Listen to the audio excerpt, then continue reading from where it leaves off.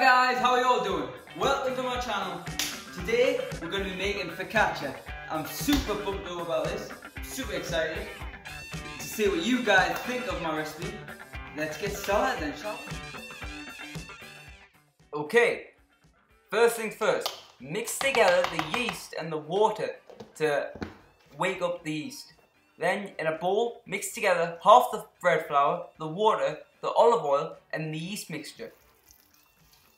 Now you're going to incorporate the rest of the flour and the salt until it forms a rough dough.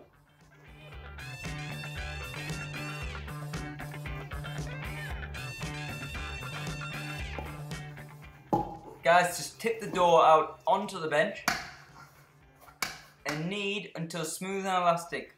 This may vary between 10 to 15 minutes. So don't worry, it may take longer if your dough is a lot wetter than mine, don't worry, just add a little bit of flour and it will come together just fine.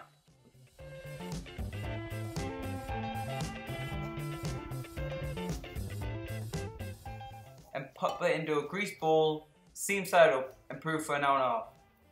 Guys, look at it, it's beautiful. It's, it smells incredible already, even though it's not even baked yet. Just spread it out with your fingers, like so, and when it comes to toppings, guys, just be creative. Use your imagination. Put whatever you want on them. I'm going with a simple basil and tomato because I like the flavors. It's great. It tastes incredible. Explode in your mouth.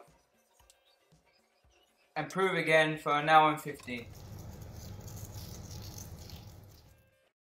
And bake at 200 degrees for an 18 to 20 minutes or until golden.